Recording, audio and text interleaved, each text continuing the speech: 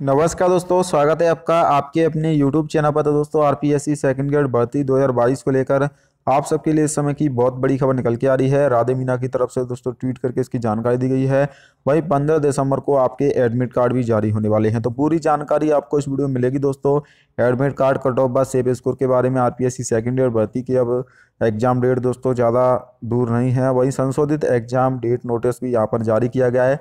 तो चलिए दोस्तों, आपका ज़्यादा समय ना लेते वीडियो स्टार्ट करते हैं। उससे पहले आपसे छोटी सी रिक्वेस्ट है, अगर आपने चैनल को सब्सक्राइब नहीं किया तो दोस्तों, चैनल को भी सब्सक्राइब कर लें ताकि आरपीएससी सेकंड ईयर भर्ती से संबंधित आपको सभी प्रकार की जानकारी सबसे पहले चैनल के माध्यम से मिल सके। तो दोस्तों, वरिष्ठ अध्यापक भर्ती यानी कि जो सेकंड ईयर की भर्ती परीक्षा थी दोस्तों, उसी के साथ वर्धमान महावीर खुला विश्वविद्यालय यानी कि बी के परीक्षा जो पीजी की परीक्षाएँ थी, वो भी दोस्तों थी, लेकिन बाद में दोस्तों अधिकारियों से बातचीत करके अब परीक्षा कार्यक्रम में संशोधन किया गया है। इसको लेकर दोस्तों आरपीएससी सेकेंड ग्रेड की तैयारी कर रहे छात्रों की, काफ़ी सारे छात्र ऐसे थे, जिनकी सेकेंड ग्रेड की भी एग्ज़ाम थी और वर्धमान महावीर खुला विश्वविद्यालय कोटा की भी एग्ज़ाम थी। तो दोस्तों उनकी एग्ज़ाम डेट में संशोधित कर दिया गया है।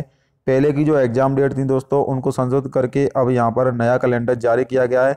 अब आप अपनी आराम से तैयारी कर सकते हैं। सेकंड ग्रेड की एग्ज़ाम दोस्तों 21 से 27 दिसंबर तक आयोजित होगी।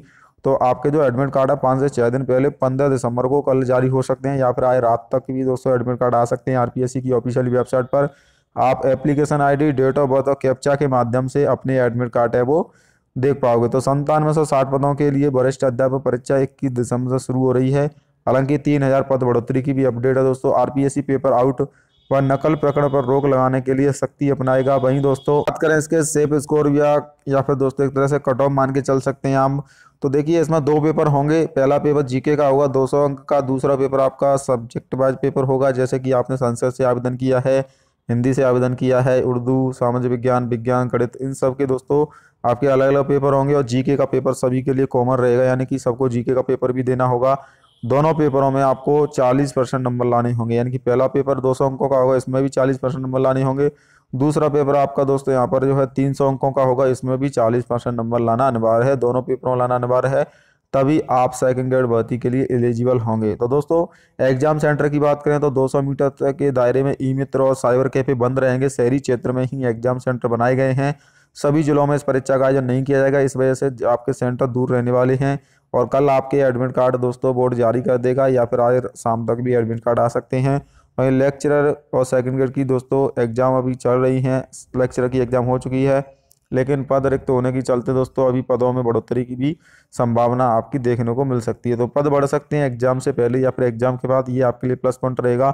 सबसे ज़्यादा फॉर्म दोस्तों चार लाख सामाजिक विज्ञान में और इसके बाद हिंदी में तीन लाख विज्ञान में एक लाख इकतालीस हज़ार, गणित में एक लाख बाईस हज़ार हैं और उर्दू में एक लाख पद हैं दोस्तों। एक लाख फॉरम है, माफ़ कीजिएगा। सबसे ज़्यादा कंपटीशन आपका सामाजिक विज्ञान में, सबसे कम कंपटीशन अंग्रेज़ी में है। एक पद पर इक्यावन विद्यार्थी हैं। अभी दोस्तों, फॉरमों के आधार पर ये यहाँ पर बताया गया है आपको जो आंकड़े हैं, लेकिन अभी एग्ज़ाम देने के बाद ये आंकड़े और भी कम हो जाएँगे, यानी कि यहाँ पर एक पद के लिए छात्रों की संख्या और भी कम देखने को मिल सकती है। तो आशा करता हूँ आपको वीडियो पसंद आई वीडियो को शेयर कर देना, चैनल को भी सब्सक्राइब कर लें। जय हिंद बंद मातरम।